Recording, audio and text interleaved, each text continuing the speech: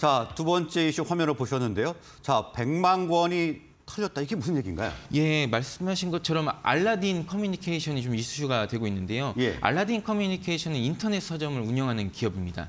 예스24에 이어 국내 인터넷 서점 2, 3위를 다투고 있는 기업인데요. 최근 알라딘에서 유통되고 있는 전자책, 그러니까 흔히 말해서 e-book이라고 말하는 어, 이런 상품이 100만 네. 권을 해킹했다라는 일당이 등장한 것입니다. 그러니까 이북도 결제를 해야만 볼 수 있는 콘텐츠죠? 맞습니다. 예, 네. 저작권이 있기 때문에 그 전자책 시장을 구, 구 매해야 이제 볼 수 있는 이런 구조로 상품을 운영하고 있는데요.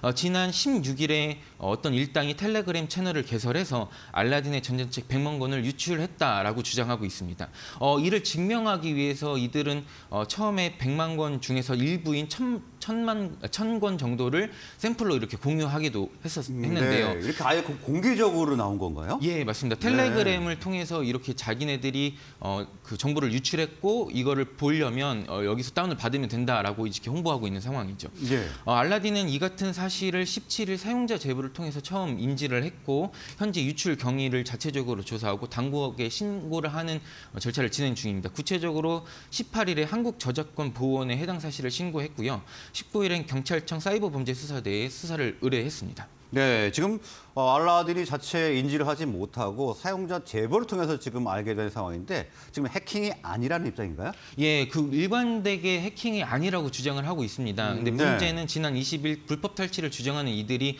추가적으로 5천 건을 공개하면서 문제가 더 커졌는데요. 당초엔 해킹이 아니라고 주장을 하다가 유출된 자료를 살펴본 결과 어, 자사에서 유통되고 있는 전자책이 대부분인 점을 스- 발견을 했습니다.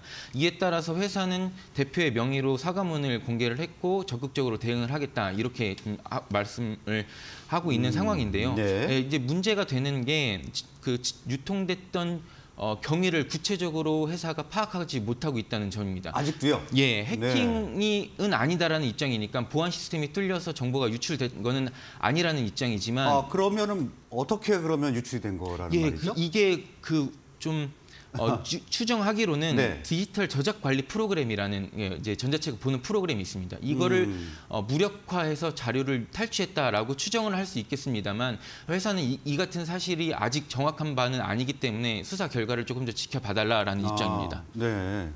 참 어떻게 그 회사가 자체적으로 유출된 부분을 모를 수 있는지 아, 좀 저도 좀 이해가 잘 안 가는 부분인데요. 네. 자, 회사 자체적으로 어, 유출 경로를 인지하지 못하고 있다. 이게 제일 문제 아니겠습니까? 맞습니다. 예, 이- 이거를 어, 수사 당국과 좀 협조를 하면서 어, 앞으로 이 유출 경위나 저작권 피해가 없도록 하는 게 최우선 과제라고 지금 짚고 있는데요. 네. 어, 이제 이 7천 건이 지금 유출이 됐고 남 이제 100만 건을 탈취했다고 주장을 하고 있는 상황입니다. 어, 해커는 이, 이, 이 100만 건이 모두 다 유출되지 않으려면 자사 그러니까 자기 그 비트코인 계좌에 100개를 좀 네. 보내달라라고 이렇게 아, 아, 회사를 네, 협박하고 있는 상황입니다. 하는군요. 예. 자, 비트코인 100개면 얼마죠? 어, 현재 시세로 약 35억 원에 해당하는 아, 어, 35억 규모입니다. 이요? 예, 네. 이게 어, 비트코인이 추적이 어려운 만큼 이걸 보내지 아- 않으면 어, 그 100만 권을 모두 다 유출해서 피해를 주겠다라고 이렇게 협박을 하고 있는 상황입니다. 이거 회- 이제 앞으로 회사가 그 자체 시스템을 점검을 하고 수사 당국과 협조를 네. 해서 2차 피해가 없도록 해야 되겠습니다. 뭐 거의 강도였군요. 네, 그렇습니다. 네, 앞으로 수사 결과 잘 지켜봐야 될 것 같습니다. 자, 오늘 말씀 여기까지 듣겠습니다. 네, 감사합니다. 고맙습니다.